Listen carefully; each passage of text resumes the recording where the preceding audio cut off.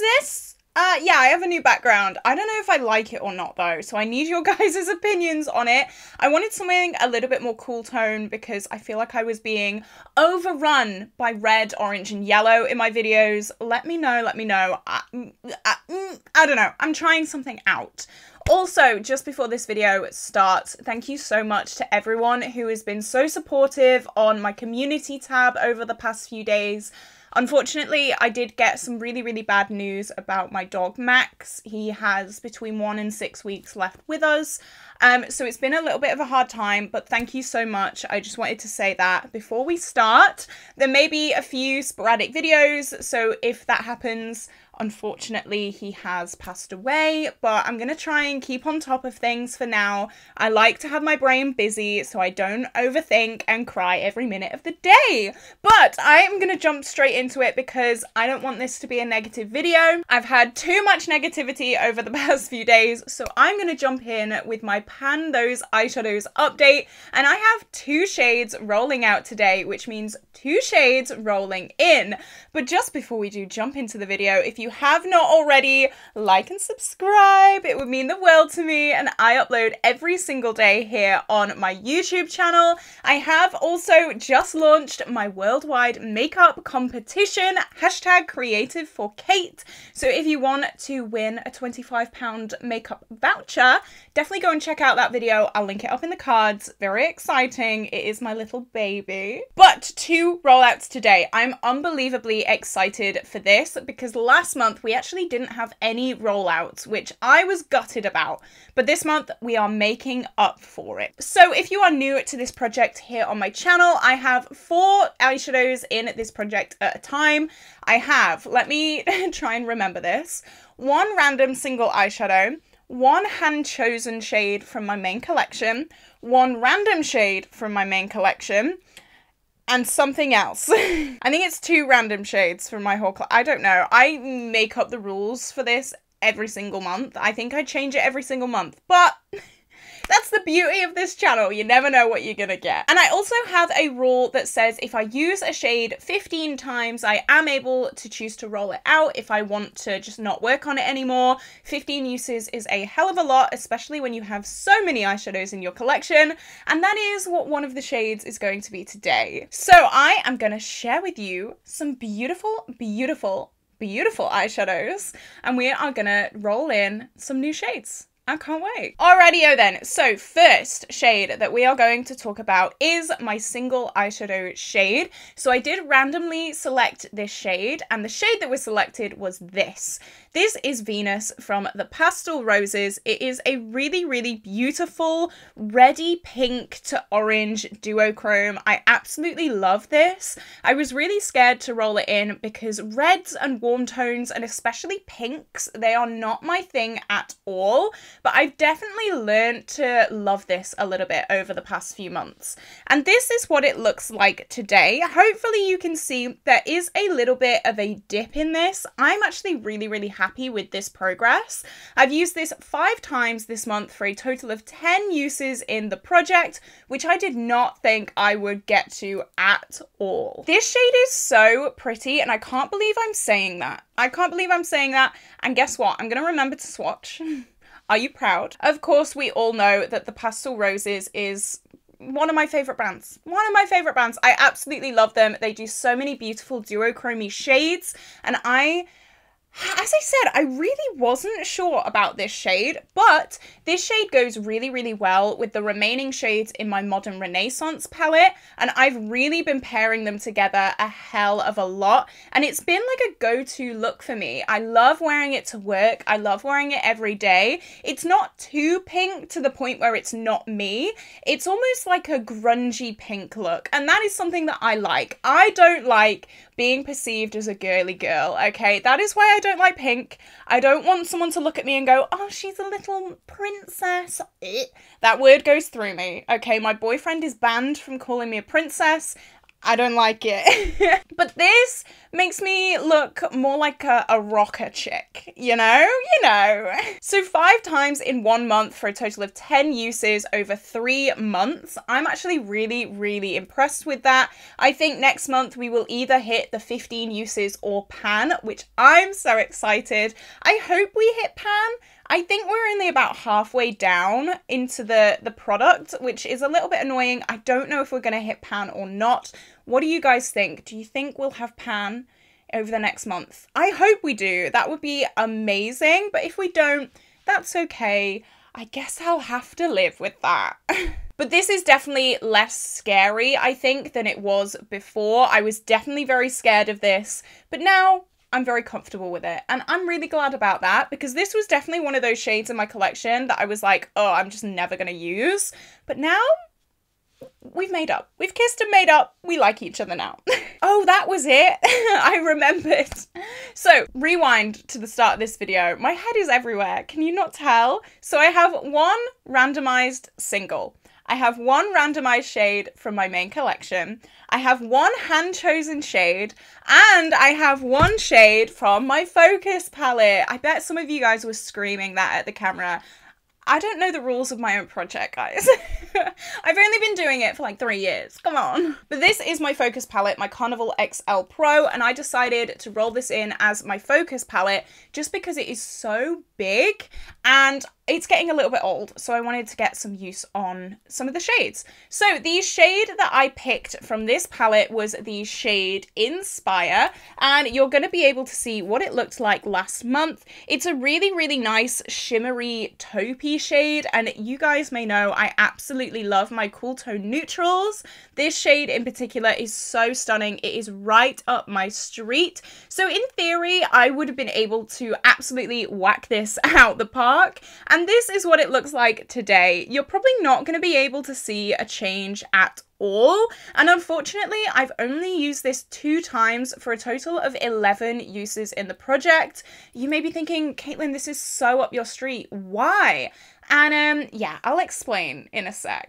this is a beautiful shade. And like I said, if I'm going for my like everyday neutral look, this, like this row, oh, a bit of me, a bit of me. I absolutely love these cool tones. However, however, I've been working so hard on my Modern Renaissance and there are no cool tone shades left. Technically there is Buon Fresco left, but that pulls more pink. So I've really not been able to play with my cool tone comfort zone recently. I've done a few looks with Pug, which is also in a separate Pan That palette, but this has definitely been neglected. Let me swatch it. It is so stunning though. Look at this is a bit of me. Okay, here we go. That is that shade swatched. It is so stunning. I do absolutely love it. It's not the fact that I don't love it. That is not the reason I haven't used it this month. It's just I've I've been busy. I've been busy girl. This shade, I just I really want to use it. I really really do. I think the fact that it is such a huge palette as well that it kind of gets uh, pushed to the side a little bit. But then again, I am using Pillow Talk every day to set my lid. So maybe I should be using this a lot more. I just think it's it's what I've been working on this current month. It's just not been cool tones, unfortunately. But this, I think, once I set my mind to it, it will not take long for me to finish at all. Like I said, I've used it two times this month for a total of 11 uses in the project. I think that's pretty good still. I'm not complaining about that. It's just not been its time right now. And that's okay that's okay. I'm working on so many eyeshadows. I cannot give every single eyeshadow like the correct amount of time every month, unfortunately it's just the name of the game. So now we've had two non-rollouts. Let's talk about the two rollouts. So I'm going to start with the one that's a little bit less exciting, I guess. So this was my randomly selected shade from my whole eyeshadow collection. And this is the shade Mulberry from the Soft Glam palette. You can see from the pictures last month, it was a very warm toned brown deepening shade. And this has gone so well with my Modern Renaissance as well. So that is a definite big thumbs up from me. This is what it looks like today. And would you believe me if I said I have used this 15 times? Yeah, I have. Um, it barely looks used at all. I don't know what is going on with this shade. So normally Anastasia shades are so easy to hit pan on, but this, hello? Hello? You can see the tiniest little brush marks, but that is it. That is it. It looks brand new. I have used it 15 times. I've used it 10 times this month alone because it has gone so well with especially Venus these two shades together, look at that, stunning. I normally use this on my outer corner. I then blend it out with red ochre from Modern Renaissance, and then I put Venus all over the lid. That has been like my go-to look this month. Or I have used this with other neutral looks as well that I have done. This, I can't believe how new this shade looks. It is ridiculous. It is like, what what? Even swatching it, it is such a dry shade, but it is a really, really nice, just everyday brown. Here we go. That is what that one looks like. It goes very well with Inspire, actually. I don't think I've used them together, but in the pan, it looks a lot more red than it actually is, and that was definitely a learning curve that I had with this shade. I was a little bit put off because it just looks so warm, but it works really well with cool tone shades as well, so hey ho, it's it's a multi-use girly. I can't believe I've used this 15 times. There is that joke in the panning community that Anastasia shades are so easy to hit pan on. The rest of the shades I've hit pan on in this palette, easy peasy, but this wild. I feel like there's always one shade in an Anastasia palette that is so difficult to hit pan on. In this palette, it's Mulberry. In the Modern Renaissance, it was Realgar, but here we go. We're just gonna we're just gonna put this girl down. She's retiring. As I mentioned before, I do have that 15 use rollout goal. If we were very, very close to pan, I probably would keep it in, but this is going to take like a 100 uses to hit pan on, and I don't have the time. I don't have the time to do that. I have other deep browns that I'm working on, so 15 uses, we've hit it it is time to put this one to bed. I'm actually still in awe about that. I have no idea how I can use something 15 times and it still looks brand new. It's witchcraft. It's witchcraft. And finally, our final shade that we are going to talk about today is the shade Axis from the Subculture palette. And you can see what this shade looked like last month. It is a beautiful deep teal, and this was a shade that I hand chose to roll in to this project. You guys know these shades are my bread and butter. I absolutely love these tealy blue cool tone shades right up my street. I absolutely adore them. And this is what it looks like today. We have the tiniest baby pan in this eyeshadow and I actually hit pan on this today doing my eye look so I'm so happy that I have at least one pan to share with you. I do have this as my wing and I didn't have pan on it when I did it as a wing so I decided to bring it all the way down onto my lower lash line as well and that is when I hit pan on it. It is the tiniest baby pan but we do have pan. I did use this brush, so it's a super tiny pencil brush, which obviously means the pan is a little bit more like precise, but it's because I needed super tiny wings you know, precise. I've used this as a winged eyeliner most of the times that I have used it. It's gone really, really well with all different types of looks, really. I've even used it in that red look that I was talking about before. I didn't know if it would look good with reds, but it actually looked really, really good. And I've also used it with neutrals. Oh, my earring is magnetizing again. Here we go. Here we go. I think that happened last update. but I'm very, very happy with this. I'm very, very happy that I do have a pan in this palette. Another pan. Now we have pan in cube, but you can't really see that very much. I have used this eight times this month for a total of 11 uses in the project. 11 uses to hit pan. It did have a, quite a lot of use on it before this update though, so I'm happy with that. Look at that, a nice shiny pan, and I nearly forgot to swatch it. That is that shade swatch, a little bit wonky there. I'm very, very sorry about that, but I love this shade so much, and I'm very, very happy that I've hit pan on it, even though I'm a little bit sad to let it go. Okay, so the two Anastasia palettes are rolling out. Oh, ABH, I love you but we've got to say goodbye. so I am going to get my tiny decisions pretty random. I've never learnt the difference between them, even though I've been panning for like three years. Pretty random That's the one. Okay, so I have 456 eyeshadows in palettes in my collection. So I'm going to roll, see what we get. 47. That actually is probably an ABH palette. Let me let me check that. 47. Oh, it's not. I'm actually really excited about this. Okay, so I'm going to grab that shade and I'm also going to hand choose another shade and we will be back with a new color story. I'm buzzing about this. okay, so I am back with my randomized shade and my hand chosen shade. I'm actually really excited about this, and I think you are going to be as well. So, uh, I'm going to talk about my hand chosen shade first. I'm going to keep the suspense, you know? So, this palette was a palette that I mentioned in my palettes I forgot existed in my makeup collection video. I'll link that up in the cards. It was a very fun video. And I said that this shade in the middle has my heart and soul. I absolutely love this shade in the middle. And I also said that all of these mattes I'm already panning, so I really don't reach for this palette because there's not really much point. The mattes I've got in other projects, but that doesn't stop me from using this beautiful shade. So I'm going to roll this shade in to this project. It is so stunning.